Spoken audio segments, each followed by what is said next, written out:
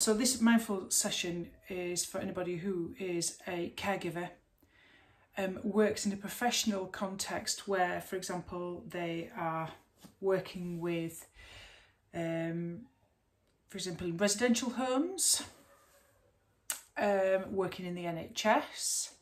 Um, you could be a therapist. Um, basically, any kind of challenging interaction or relationship where you need to feel protective of your own boundaries. So, compassion fatigue or compassion burnout is the major topic here. Now, um, the reason why we're doing this practice obviously is um, when you're witnessing somebody else's pain, you have something called empathetic resonance where your own pain is triggered well, the pain centres in your own brain is also triggered. And it can be incredibly draining.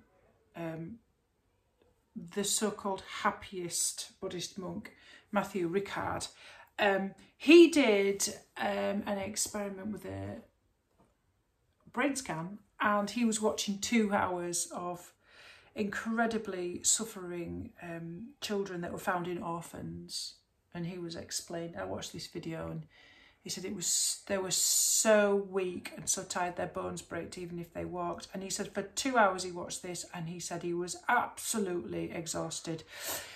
Now the moment that he practiced mindful self-compassion he was practicing mindfulness by the way while he was watching these these this very extended video.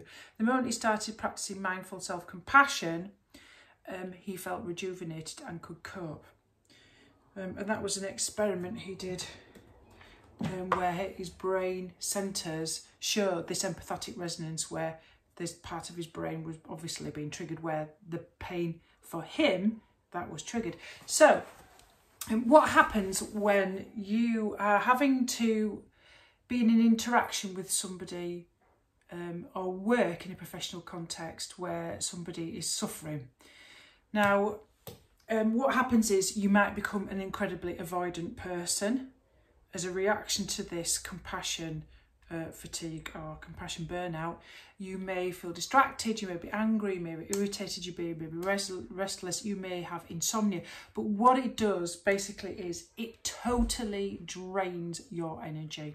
Okay, I'm not saying it's like what we did in the shadows that you know that uh, you're hanging around people like Colin Robinson, who is a psychic vampire. But what I'm suggesting is that um, unless you're protective of your boundary by using compassion, and it's very, very difficult to actually avoid this scenario, isn't it? Because if you're actually in a professional job like a therapist working in the NHS, or you're working in a care home, or you have a parent that you have to care for, or a child as well, it's also those kind of professions, a family member, it's very hard to draw and put down these emotionally boundaries. And it's okay doing self-care activities like booking yourself in for a facial or um, having a nice comforting bath or a lovely meal or doing all these self-care activities but their usefulness is incredibly limited. Um, it doesn't help you in the middle of the caregiving action. So um, there is a confusion between what empathy fatigue is and what compassion fatigue is. Empathy fatigue is a bit of a misnomer really Empathy is when you walk in somebody else's shoes. You feel the pain as if it's happening to you, and that causes empathetic distress, and that's the empathetic resonance. Now, compassion is completely different. It's the energizing thing. It's the I feel you, I see you, I hear you. And you're what you're doing is you're giving yourself compassion at the same time as you're being compassionate to another person. So it's like the metaphor that we always use, don't we? You're on the um, you're on the plane and you're learning the in-flight safety, and you put the mask on before you put it on anybody else. So caring for yourself is not selfish because it allows you to care for others. It retains your sense of self. It's without need for co-detachment. It allows yourself to create boundaries. Um, it means that you are not fixing people because you can't fix people. It means that you can feel their pain, but not take it on board. It means that you can feel connected from them but emotionally disentangled, which means that there is this nice separation and boundaries. So you can totally understand that the person that you are with, whether it's a small child, an older parent, or um, when you're in a therapy context where you're NHS or whatever, that these people have totally separate, unique lives and there is nothing you can do about them because you cannot fix anybody. You just can't.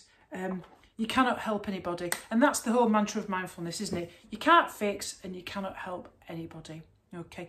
You have to look after yourself first. So we're going to do the mindfulness meditation because I just want to get straight on with it very, very quickly because I realise I talk too much and that's important. Now, um, it's very important that after your mindfulness exercise, you have some period of reflection so you can process the experience. Um, I know I always talk about the way that we sit, the way that we hold ourselves, and the way we practice our uh, mindfulness, but I want you to be not too attached too much to the formal logistics of it, just in case that anything challenging comes up. Remember, you have your um, resourcing tools to help you. Um, I posted um, two uh, A4 um, handouts which were all about resourcing tools on our page which would really really help you. I'll just remind you of them because i typed them up. They were very very useful. I am going to put a resource we're going to do a resourcing tool right at the beginning of the session because i think it's very very useful. Um, the resourcing tools there are for emotional challenge and keeping you inside of your window of tolerance. Now, obviously, window of tolerance, if you're up there, hyper, fight, flight, and you will notice that in your body before you actually uh, clock it uh, uh, mentally, because you will feel that pain in the chest or in or that hollowness in the abdomen. Okay, um, or if you go into hyper, which is where you go listless and sort of completely daydream and sort of go a little bit sort of out of it, uh, disassociating, if you know what I mean. Um, so I did post those. I will go back to them just to remind you what they are, but please do have a look at them because they're very, very, very, very useful. Um, whenever you come to any kind of emotional challenge any point within any experience that you're having, um, if you have a history of flashbacks or whatever of challenge, that will be really, really good. So um, I did post that you can orientate where you know where you are in time and space using your five senses. We will do that. So things that you can see, things that you can hear, things that you can taste and so forth, uh, things that you can feel. Um, grounding, again, feeling the contact of your body and anything that's supporting your body. Um, coming to your breath but being centered by focusing on the abdominal area. Um, labelling, because we name to tame, don't we? Uh, remember, focusing on somatic experience in the physical body is incredibly important because when we feel, we can heal a little bit more. Um, refocusing on something completely different. And that also means that when I'm talking about not being attached to formal logistics is do not carry on with the practice if it causes any challenge. And that means stop it altogether. Um, and pendulation is you find a part in the body which feels numb or comfortable and you go backwards and forwards between the site of constriction and sensation because emotions are always felt in the body and you go backwards and forwards. That feels good. So please do check them out. Okay, they are posted in our group, play, group page, resourcing tools handouts. So let's make a start with the practice. Let's get formal. Okay, so we will use the bell Again, don't be attached with formal logistics. In your seated practice, do whatever feels comfortable for you, even though we talk about traditional sort of Buddhist techniques. If you feel as though you're too attached to that practice, it feels a little bit too much like being told what to do.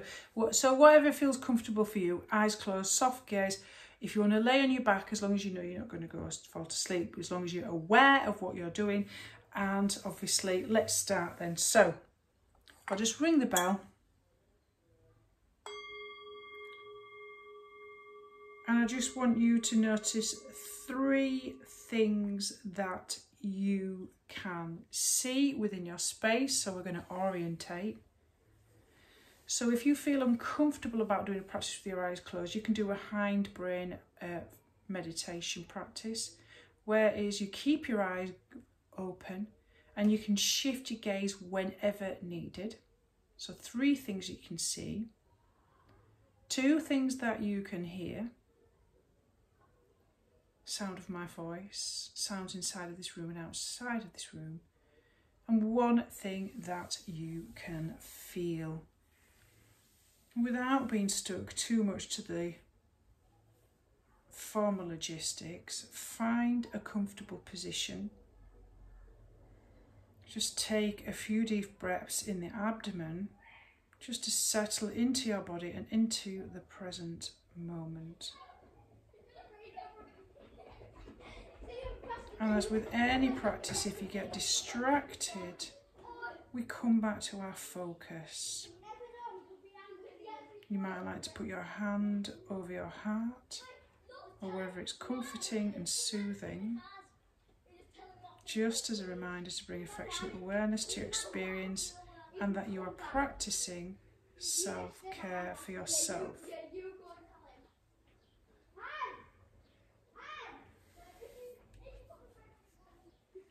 So, dropping into your seat, focusing on your breath, into the moment. Don't worry if you're distracted, come back to that.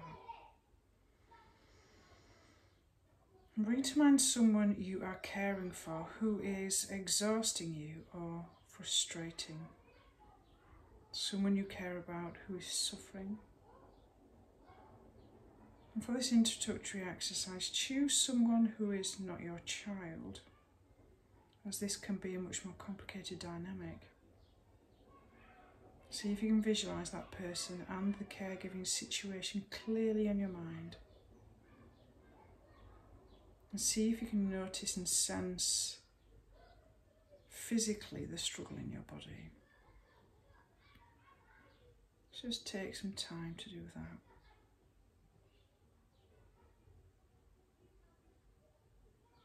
Don't worry if your mind wanders, just come back to the breath and to the focus and to your seat.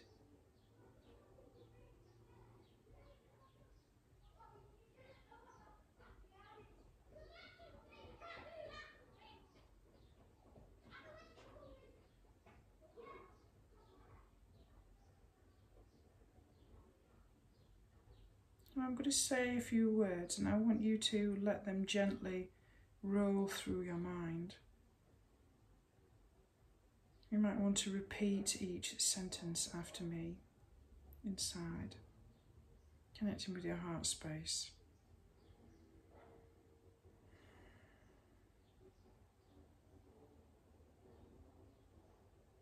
We are each on our own life journey.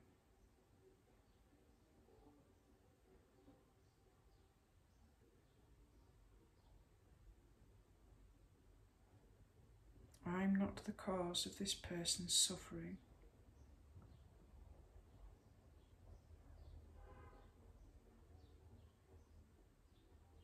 Nor is it entirely within my power to make it go away.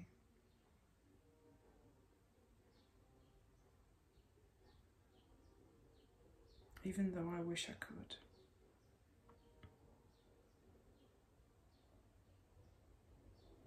Moments like these are difficult to bear.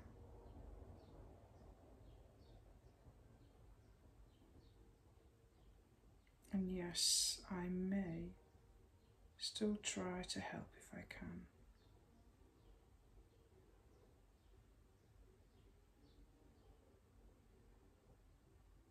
With a mindful awareness of the stress that you're carrying in your body.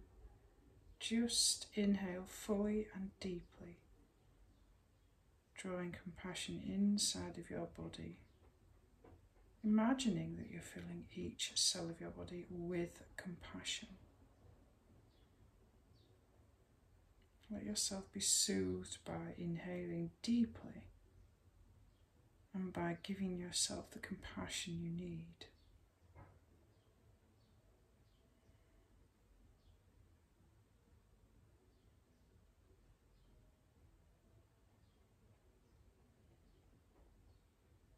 as you exhale out, exhale out the compassion to the person who's associated with your discomfort.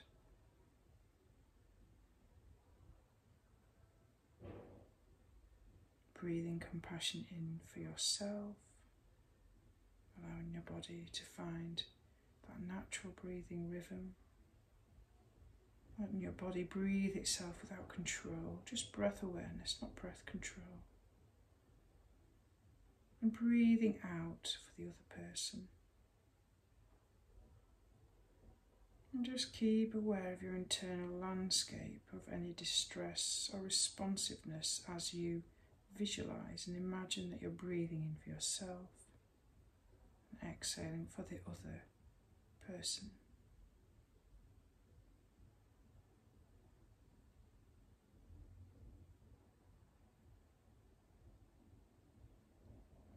It's perfectly fine to breathe in more for yourself if you feel as though you need it.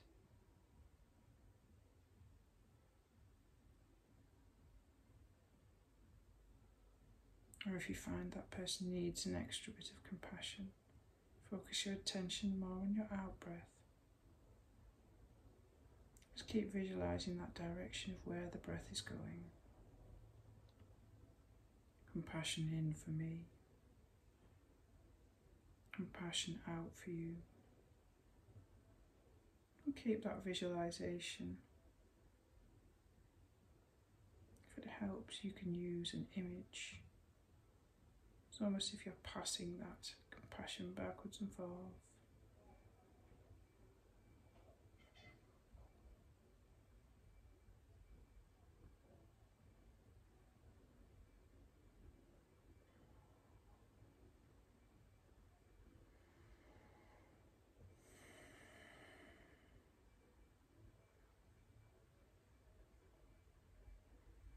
It helps, you can repeat the phrases again.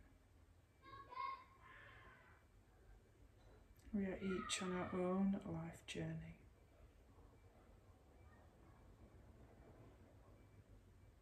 I am not the cause of this person's suffering.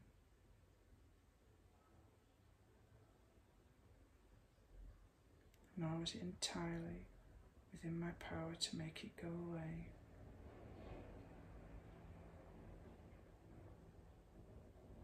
Even though I wish I could.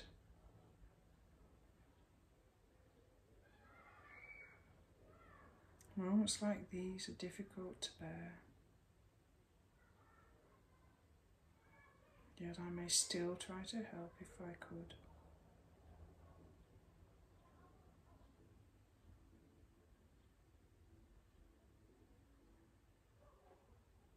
Just sit with that breath. Compassion for me, compassion for you.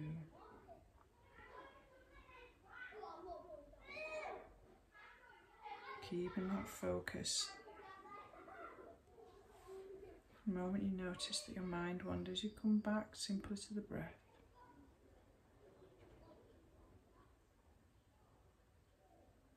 Compassion for me on the in breath, compassion for you on the out breath.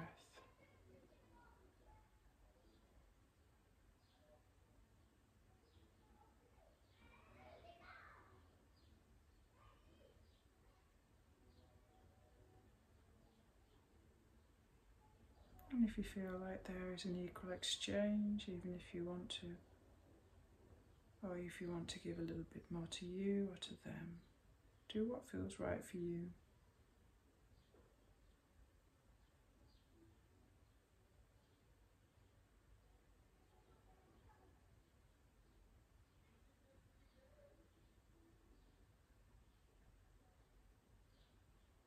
And then when you feel ready, just let go of your focus.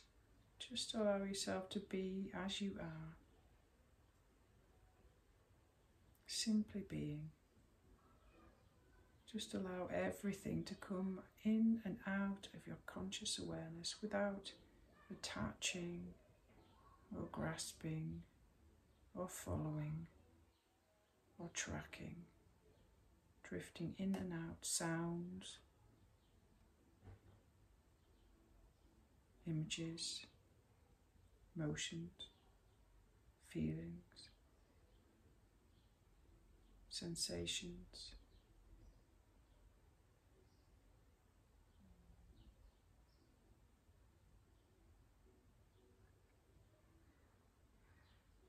Just be as you are. And if you get distracted, just come back to the breath until you feel as though you're ready to let go. And just let things come in and out of your conscious awareness. Just be as you are. Open, spacious, aware.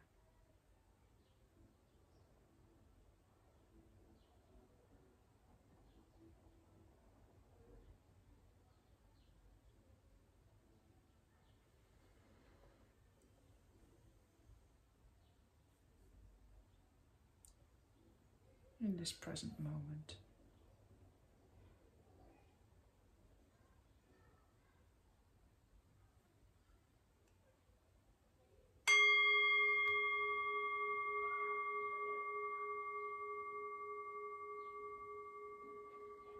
Okay, so if you can mentally reflect on that experience, it's very important because it helps you to process it. Just notice how you felt doing that practice. Were you able to adjust the flow of compassion for you? Did it work? Okay, so if you're interested, if you work in a caregiving, if you're a first responder, this is a really good book that I just bought. I haven't started reading it much yet. Uh, I'm just dipping in at the moment. Um, it's called Mindfulness for Warriors and it's for first responders to build stress um, when you're face to face. This is for police officers, NHS workers, people who are ambulance, all sorts of first responders here. Um, also could be used for the army, for example. Not read it yet. I'm just halfway through reading two really good books at the moment in my topic field.